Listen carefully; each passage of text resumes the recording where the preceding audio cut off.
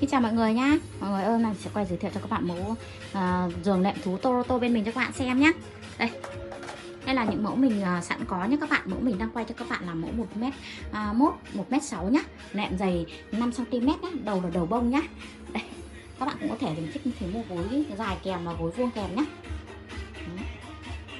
Hàng rất là đẹp. Đây là hàng handmade bên mình nhé các bạn. Ờ, may theo theo yêu cầu, kích thước theo yêu cầu nhá. Hàng sẵn thì mình chỉ có size một mét mốt, một mét sáu thôi. Ngoài ra thì cho bé dưới 5 tuổi nhá, một người thì nằm cái này thoải mái nhé các bạn. Ngoài ra nếu mà các bạn mua cho bé hai bé thì các bạn có thể đặt cái mẫu to hơn ấy, hoặc là các bạn có nhu cầu đặt mua cái to thì các bạn có thể đặt mẫu to hơn nhá.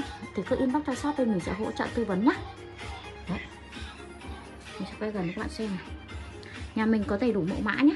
Thì mình à quay, mỗi lần chỉ được hai cái thôi thôi mình cảm ơn nhá mình chào các bạn.